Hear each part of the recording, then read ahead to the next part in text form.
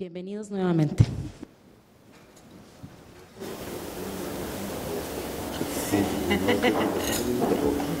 ¿Verdad? Sí. Bueno, buenas tardes, bienvenidos. En realidad nosotros no los vemos mucho porque está un poquito alto la iluminación, pero no los imaginamos. Sería buenísimo si tuviéramos más para ver, pero si es posible. Ah, eh, eso sí, sin lugar a dudas. Eh, bueno. Gracias.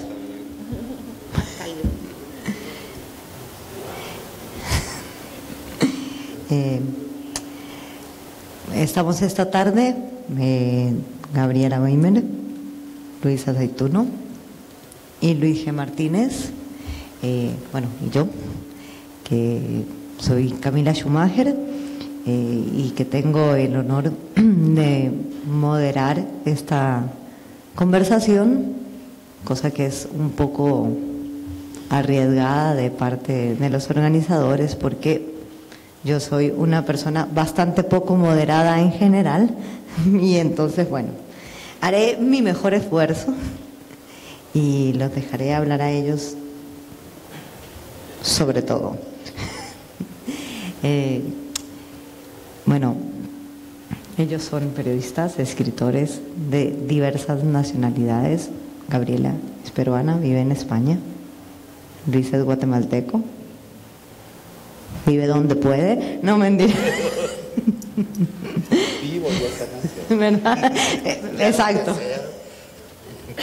Exacto, es guatemalteco y está vivo lo que es de celebrar absolutamente, ¿verdad?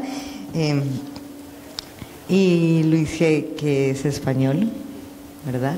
Eh, y bueno, de alguna manera, pensando en los espejos que nos convocan, en los espejos que es imposible evitar cada mañana, ¿verdad? Yo me miraba hoy y miraba las fotos de ellos que conocía y tal, ¿verdad? Y intentaba mirar lo menos posible para otras ventanas al mundo y pensaba que quizás eh, en este mundo una de las cosas más difíciles eh, es consentir, ¿verdad?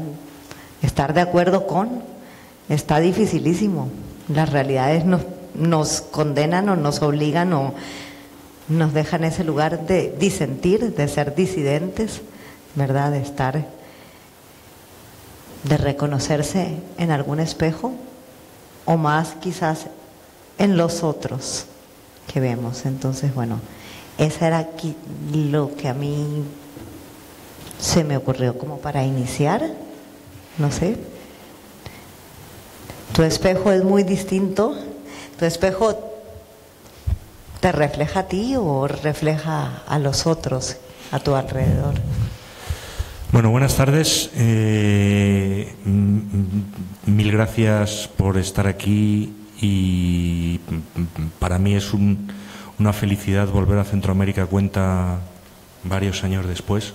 Es un festival al que quiero especialmente y aunque eh, no aunque, sino el hecho de que esté en Costa Rica, yo creo que este año le abre un camino de disidencia eh, literaria eh, especialmente importante.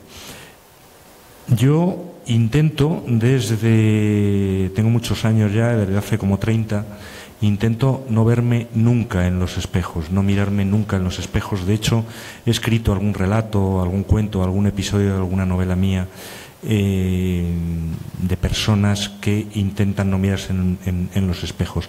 Es siempre difícil porque cuando no hay espejos hay escaparates, hay cristales, hay siempre alguna habitación de hotel diseñada por un arquitecto especialmente narcisista o especialmente complicado, en la, que es imposible eh, no mirarse en el espejo, e incluso eh, los hombres, mal que bien, tenemos que afeitarnos y mirarnos en el espejo. con lo cual siempre, aunque sea de refilón, uno se ve en el espejo. Eh, yo prefiero, desde hace todos esos años que no me miro frontalmente en el espejo, imaginar en el espejo a esa persona que yo habría querido ser. Y esa persona que yo habría querido ser tiene que ver en el fondo mucho con lo que creo que es el tema de esta mesa, que es hasta qué punto el,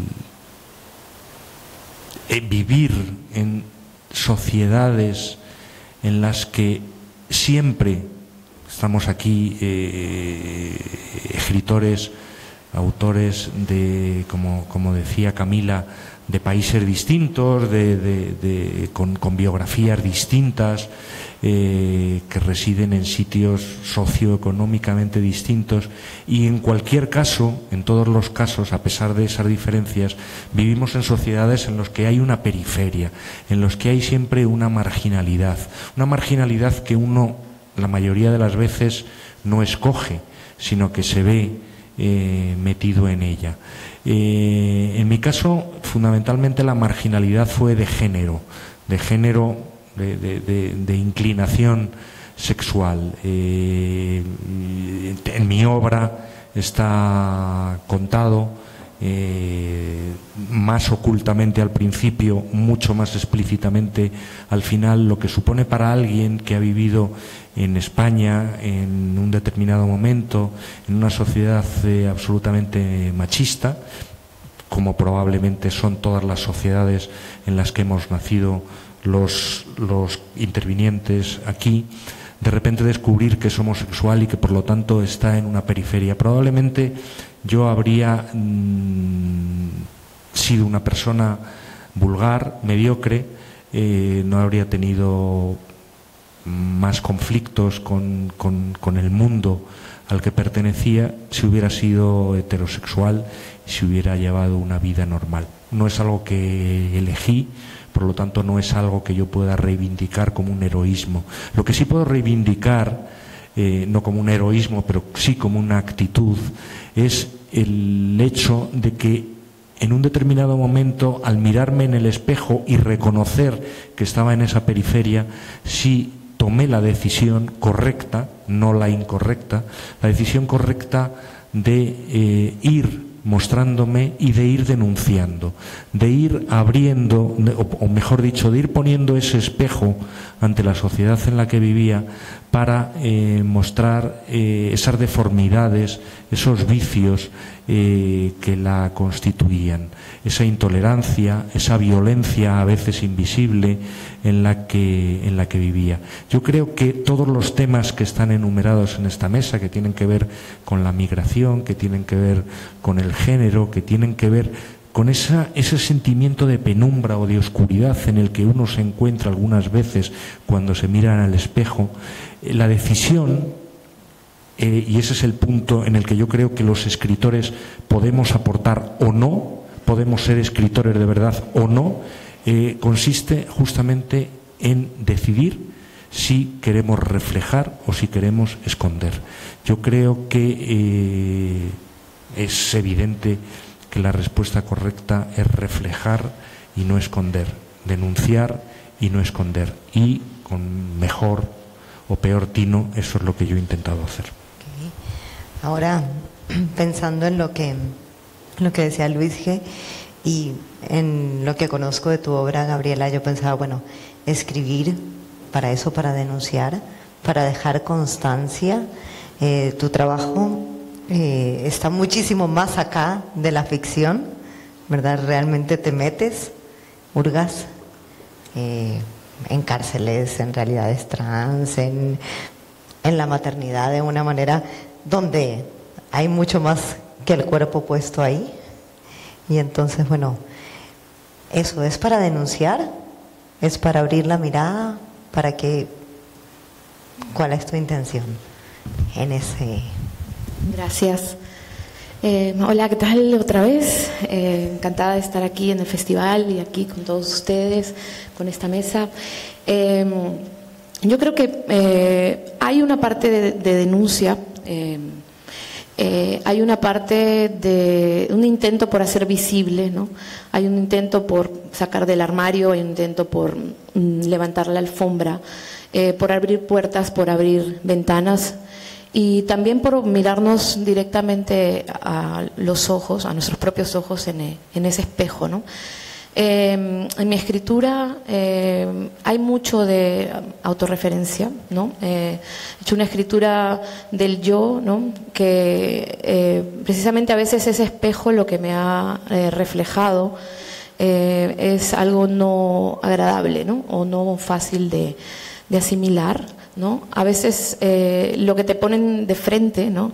es un espejo que no que no es el que tú quisieras ver, ¿no? Quiero decir, mm, muchas veces em, lo que está ocurriendo es que estamos mirándonos ¿no? en, unas eh, terribles y dolorosas formas de, violencia ¿no? que se quieren proyectar sobre nuestros cuerpos, sobre nuestros deseos, por encima de nuestras orientaciones y nuestras eh, luchas. ¿no?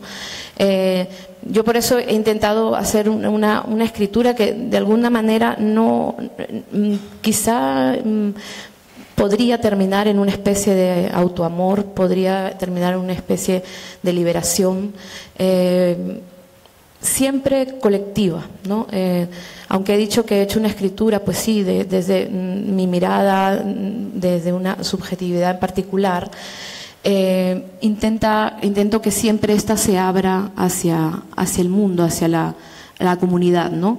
Eh, y es esas visiones de mí que puedo haber tenido, em, a veces dolorosas, ¿no?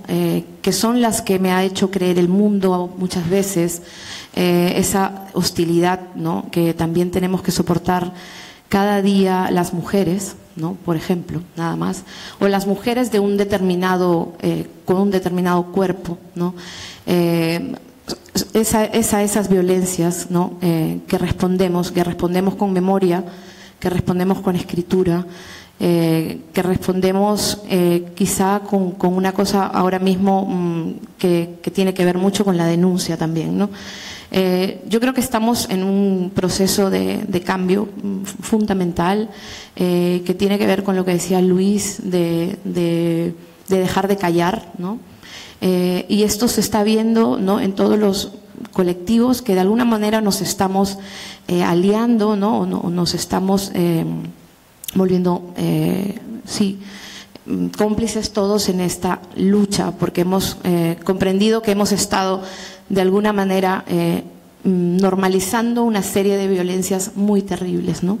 Entonces, eh, en mi escritura eh, está ¿no? también una, parte luminosa ¿no? acerca de, esa necesidad de que podamos vivir nuestros deseos, ¿no? que podamos amar de, de, la manera que queramos amar, criar de la manera en que queremos criar, maternar de la manera en que, en que necesitamos hacerlo, ¿no? Eh, y hay una parte también eh, que tiene que ver con todas esas sombras, ¿no? Eh, a las que queremos, pues, llevar esta, esta, esta luz, ¿no? Para que realmente terminemos, ¿no? Con las diversas opresiones y acosos, insultos, bullying que, sufrimos diariamente. Eh, la exposición que muchos de aquí tenemos, no solo con nuestros libros, sino siendo periodistas eh, diariamente, por levantar la voz, por dar nuestra opinión, por aparecer en redes, eh, somos cada día, cada día tenemos que soportar ese acoso. Y, y, la respuesta siempre es voy a volver a salir, ¿no? voy a volver a dar la cara. Eh, porque es distinto cuando eh, lo que haces es sacar un libro, pero cuando lo que haces es hablar y sostener esto, ¿no? Y posicionarte con tu cara, con este cuerpo, eh, delante de un público o en unas pantallas, ¿no? La cosa es mucho más virulenta, ¿no? Entonces, para mí es importante romper, romper con el silencio. Creo que lo estamos logrando y creo que no, que todos estos colectivos, precisamente que antes estaban silenciados, están consiguiendo un cambio cultural fundamental.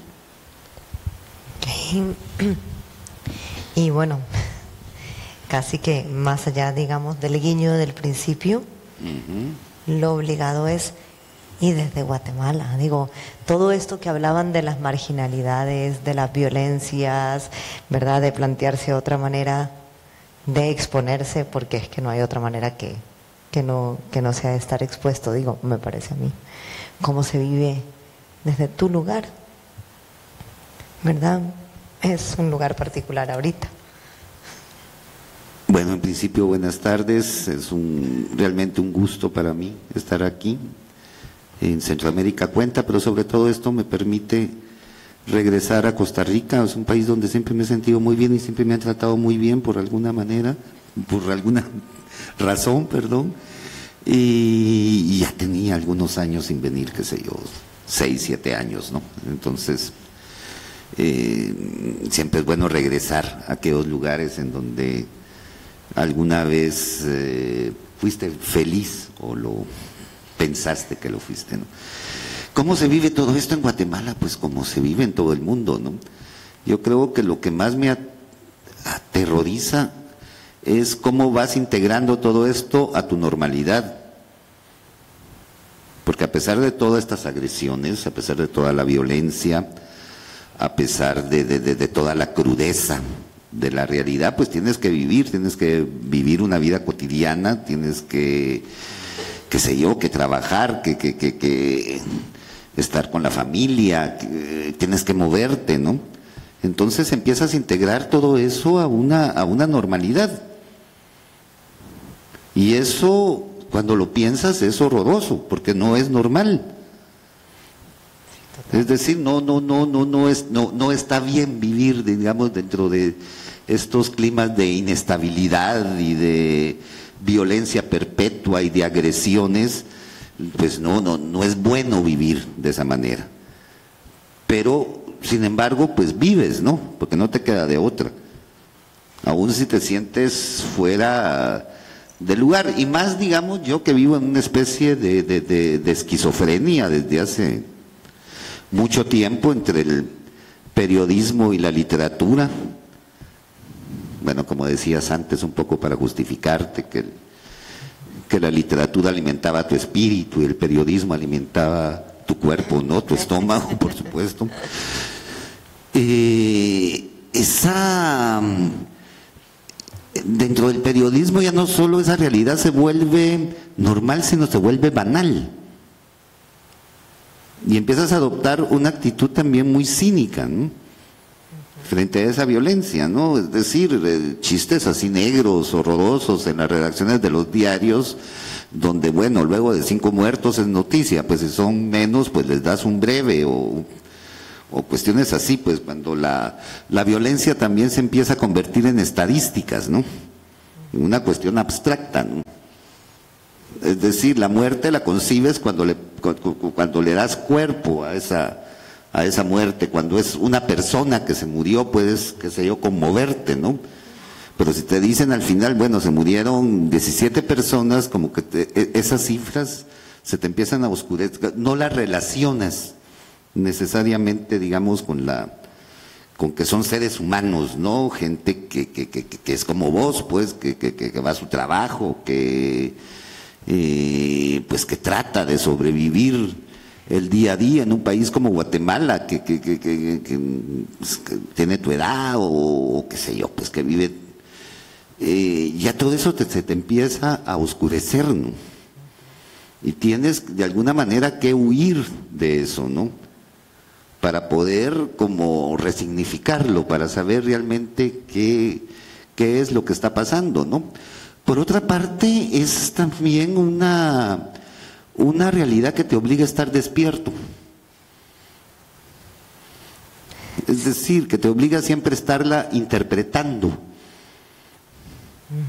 Eh, bueno, posiblemente por la condición de mi trabajo o eso, pero es una realidad que siempre te está cuestionando. Sí, bueno, y los, y los sucesos que caen uno encima del otro, como vos decías, y hace que uno no pueda recordarlos, excepto que sean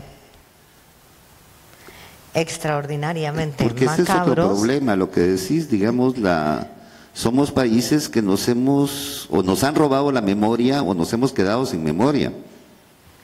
Bueno, es que... Eh, o la memoria es tan traumática que prefieres borrarla, ¿no? Tantísimas veces, y bueno, y Luis lo planteaba en uno de sus libros también, ¿verdad? De reencarnar para no tener memoria. Digo eso, de no tener memoria o de no recordar o de... Y uno dice, bueno, la memoria uno a veces la quiere perder, pero desde los lugares de la escritura y del periodismo, la apuesta parece ser la contraria, parece hacer, hacer memoria, dejar constancia, construir desde ahí, entonces no sé. Yo, yo creo que nuestra tarea, vuelvo a lo que decía antes, nuestra tarea, eh, ahora que estamos poniendo esa palabra que faltaba un poco en este rompecabezas que estamos haciendo en, en esta mesa, es la palabra memoria. Nuestra tarea como escritores y, bueno, ellos como periodistas, yo mm, como periodista muy ocasional, eh, es justamente conservar la memoria. Una cosa es que a uno le apetezca, necesite a veces el olvido para poder vivir, para poder sobrevivir, para poder eh, superar determinados momentos intensos de dolor.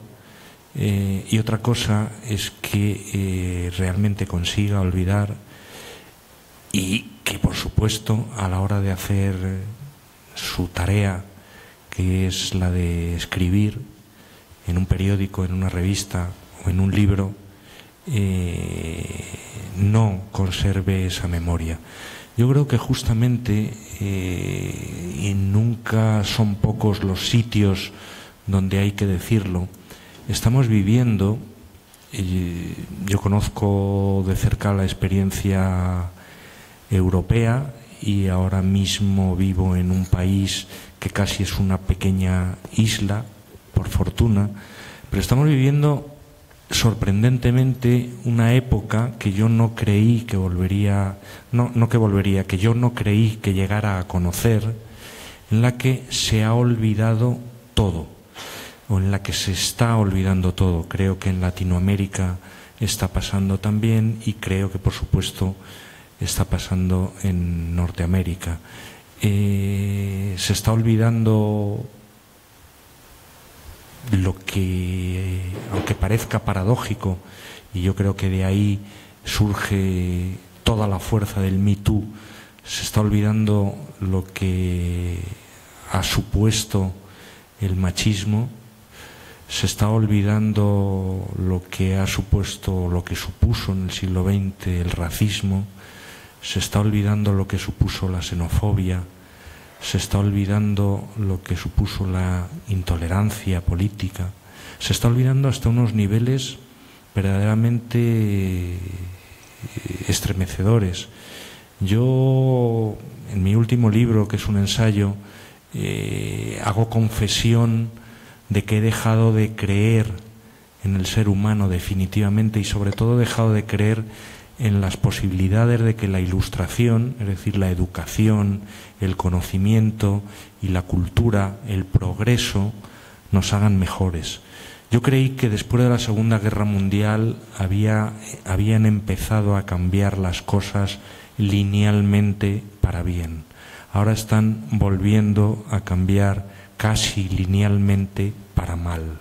Nuestro trabajo es contar eso nuestro trabajo es contar eso eh, muy de cerca. Muy de cerca quiere decir muy, en, el caso de Gabriela, en, mi caso, eh, a Luis no le he leído, eh, desde el yo, desde lo que uno ha mirado, desde lo que uno ha observado, desde lo que uno ha sentido, desde lo que uno ha deseado. cada uno tiene su territorio de denuncia que es al mismo tiempo su territorio de memoria. A mí mm, me molesta en alguna medida eh, la literatura como denuncia, como actitud de denuncia. No soy un escritor en ese sentido que se siente para combatir, pero es evidente que el único sentido que tiene la literatura es mm, volcar ese corazón estrangulado que en algún momento hemos tenido y que tiene que ver con todo esto de lo que estamos hablando. Ninguno de los que estamos en este lado de la mesa, ninguno de los que pasen en todo el festival Centroamérica cuenta por este lado de la mesa, ningún escritor habría sido escritor si eh, hubiera sido feliz, si hubiera sido feliz, que a veces quiere decir si no hubiera visto en terceros, en el mundo el que le rodea, la infelicidad, la opresión, la marginalidad, el sufrimiento. El, recordar eso, el contar eso, el reflejar eso, es la tarea que tenemos, es lo que hacemos como escritores.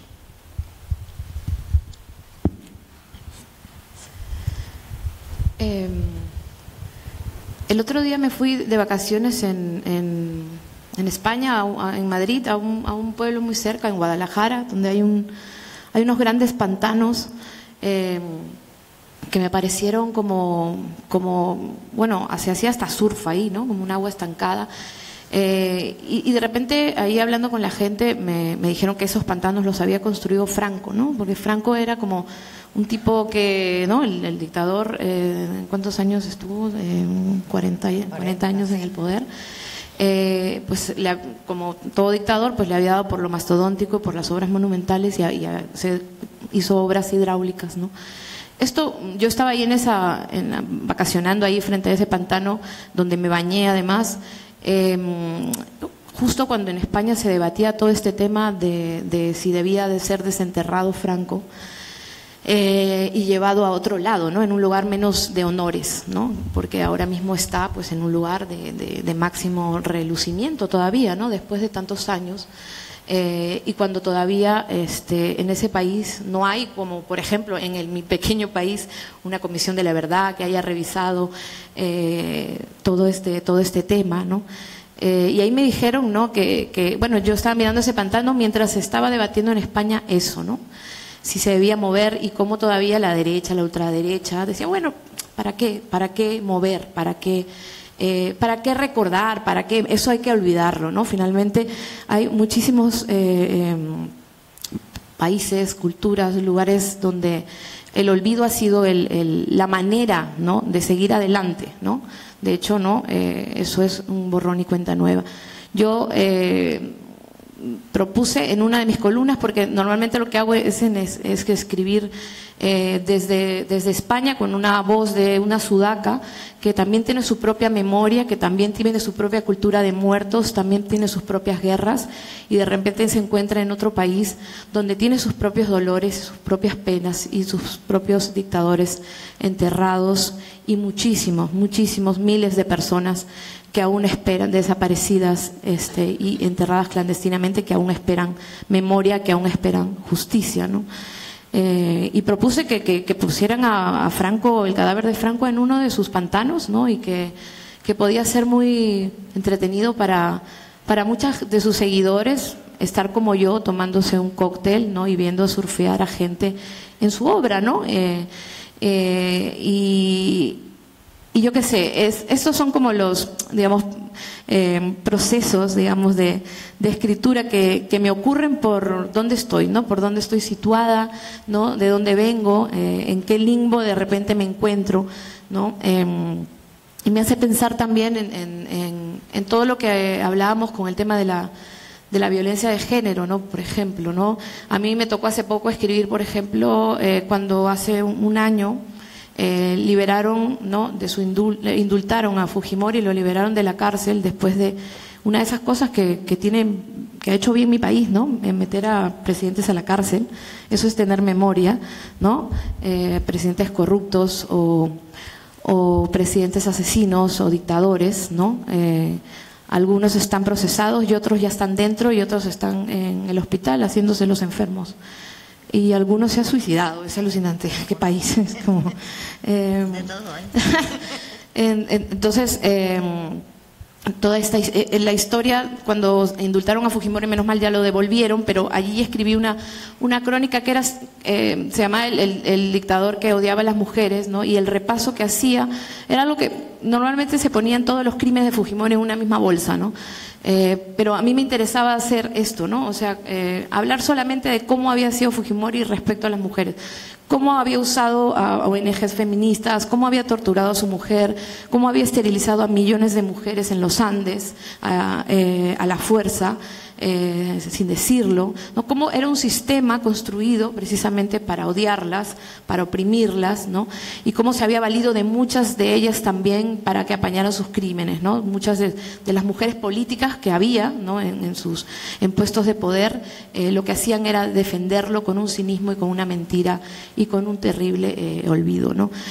precisamente una de esas de esas personas, ¿no? Mm, llegó a decir que mm, la gente se por ejemplo, o se autodesaparecía. ¿no? Eh, creo que está en nosotros, ¿no?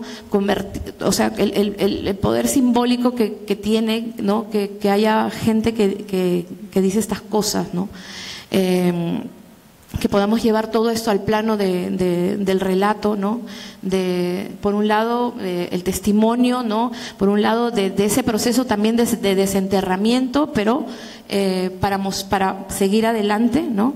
eso que nos han enseñado los procesos de varias dictaduras en Latinoamérica, el trabajo enorme que ha hecho mucha gente eh, en ese sentido y que se ha querido desaparecer, eso también es lo que contamos, como dice Luis, ¿no?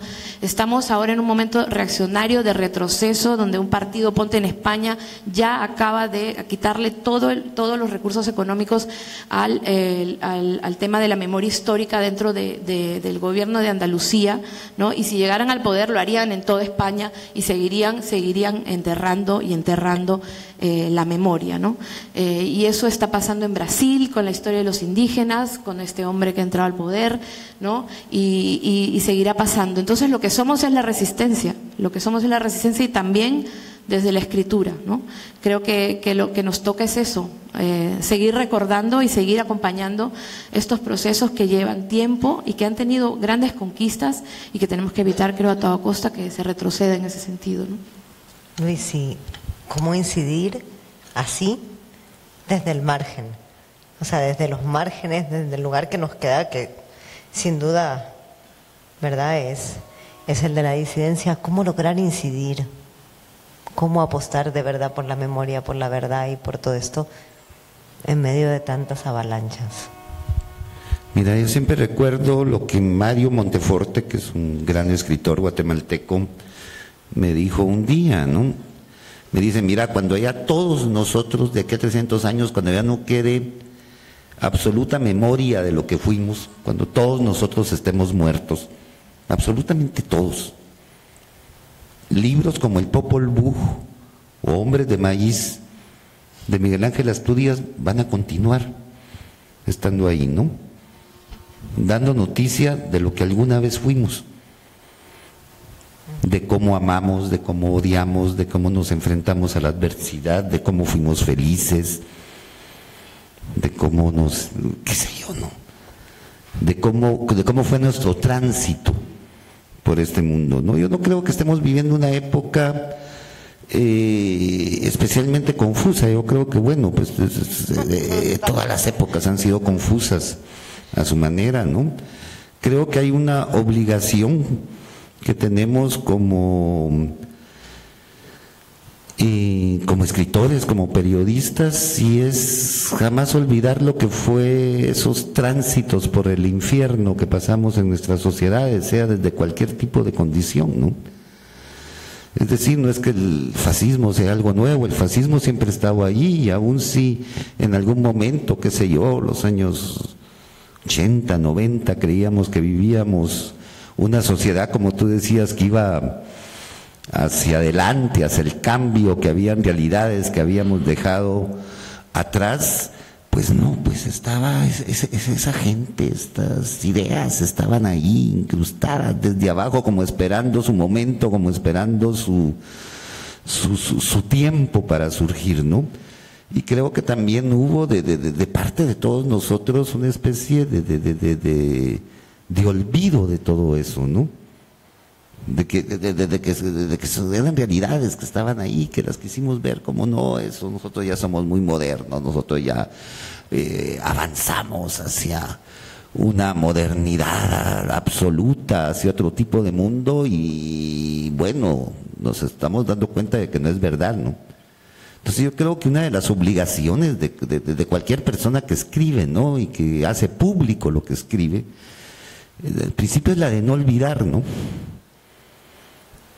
Sí, más que recordar, no olvidar eso, ¿no? Y tenerlo siempre presente, ¿no?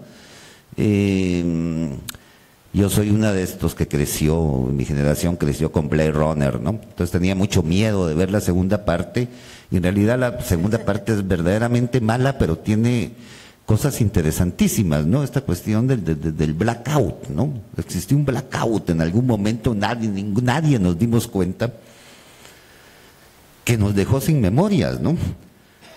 Y alguna vez todos nos sentimos, esta parte de la película, la segunda película, como Decker, ¿no? Metido en una especie de hotel, así como de Las Vegas, dentro de un campo radiactivo, minado, escuchando canciones de Elvis Presley, ¿no? Por una, una rocola, ¿no? Y con un montón de libros y de vinilos y, y creo que que somos también nosotros un poco como rescapados del siglo XX y que no nos cuesta mucho, digamos, entrar en otro orden de, realidades que nos, que nos espantan, ¿no? Que, eh, que es otro tipo de referencias, otro tipo de concepciones del mundo que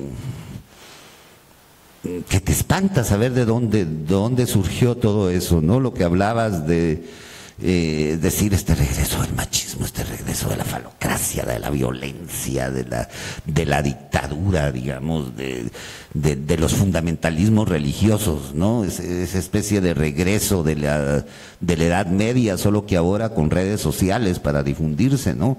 Eh, pues no te lo explicas, ¿no? Es decir, pero, pero corresponde a una lógica que posiblemente, ah, pues qué sé yo, a gente de mi generación se le escapa, ¿no? Y es una lógica que, que, es difícil de seguir, ¿no? Pero ahí estamos y, y pues la única obligación que tendríamos es de dejar testimonio de nuestro tiempo, de,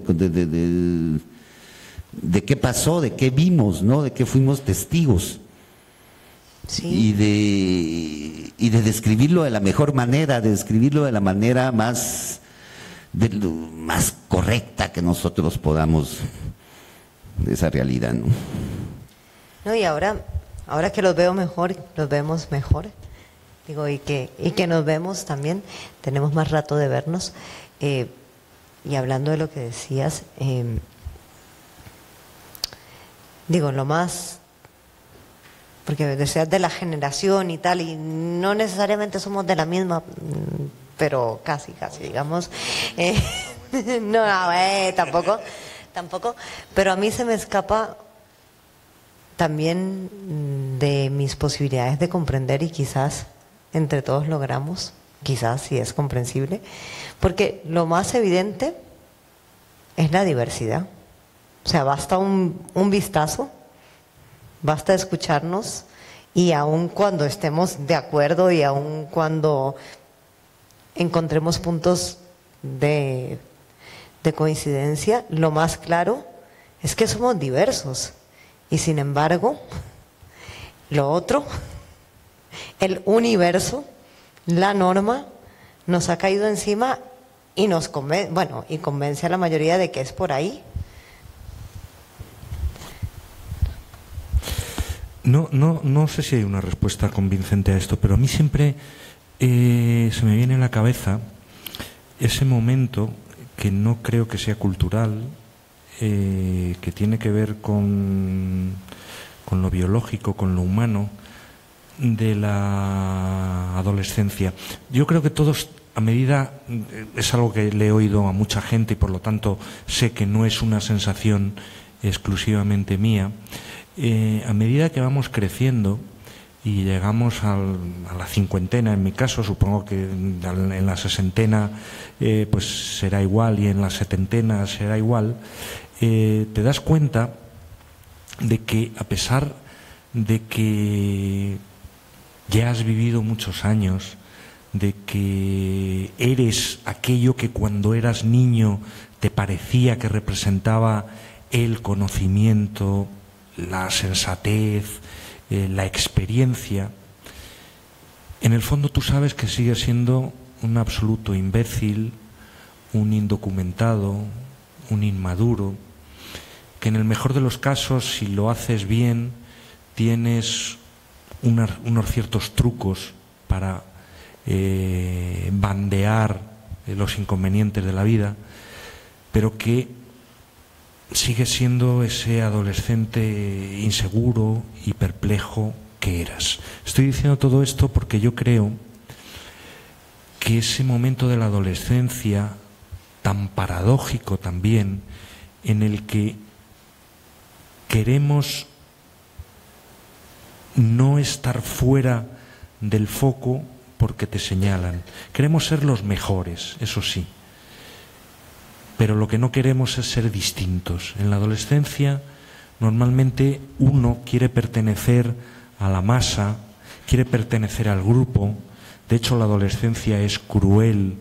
La adolescencia y la infancia es cruel con aquellos que son distintos, con el gordito, con el negrito, con el mariquita, con el gafotas, con siempre se busca esa diferencia para señalar, para insultar, para marginar.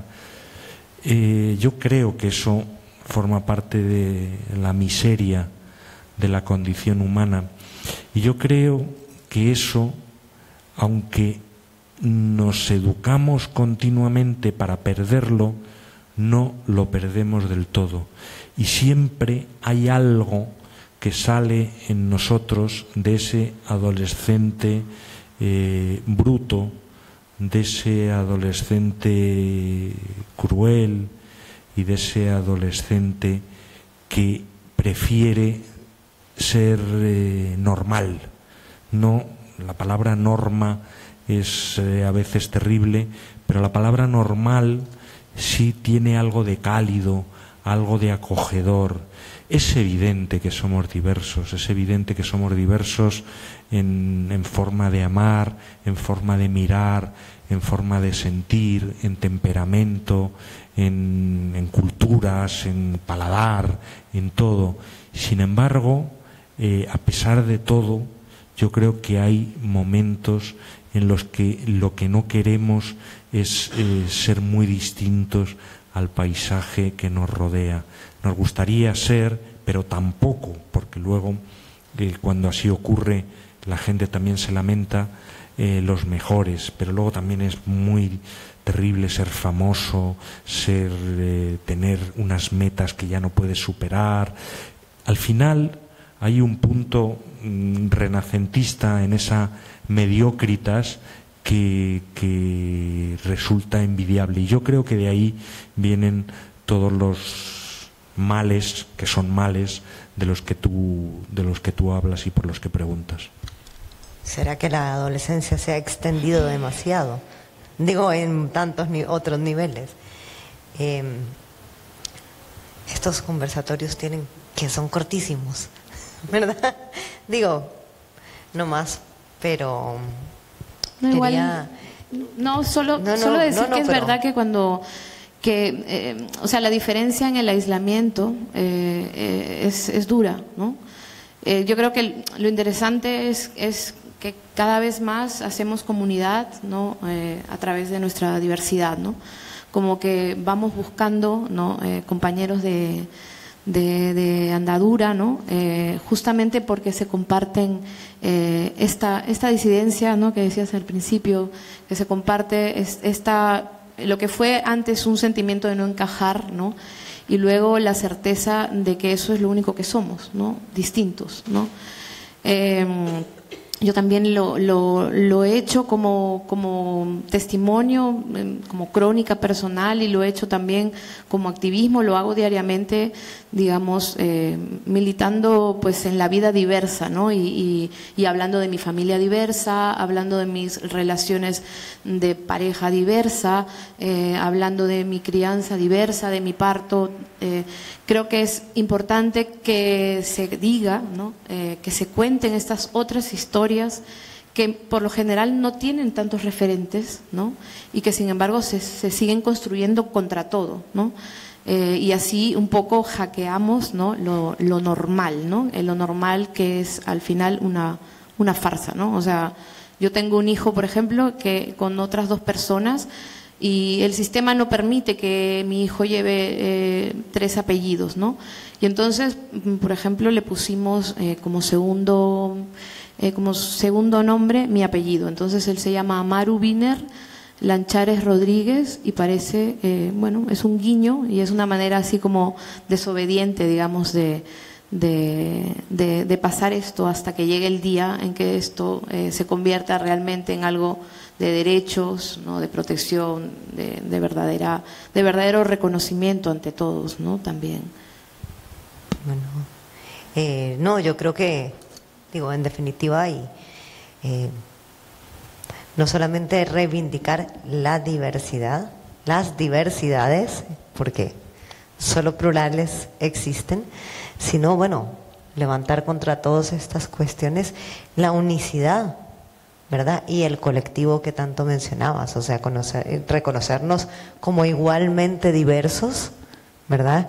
Y, y a partir de ahí construir memoria, ¿verdad? A partir de ahí mirarnos en un espejo que, bueno, en general no conozco ninguno tan amable que me devuelva justo lo que yo pensaba que quería encontrar del otro lado, pero, pero reconciliarnos con los espejos, aún los que están rotos, seguir construyendo memoria, ¿verdad? Algo tan, tan paradójico y tan osado como lo, que, como lo que planteó Luis, de que la historia va a seguir dando noticia de quienes fuimos, ¿verdad? Que ahí hay toda una paradoja espectacular y bueno, y seguir apostando y en estos días aquí están para que los aprovechemos, están sus libros y nada, un aplauso. Aprovechennos, por favor, aprovechennos. Buenas noches. Muchas gracias. Muchas gracias por acompañarnos en esta noche. A continuación tendremos dos mesas eh, más. Continuamos con Latinoamérica o Tierra de Utopía. Si gustan acompañarnos pueden permanecer en sus asientos.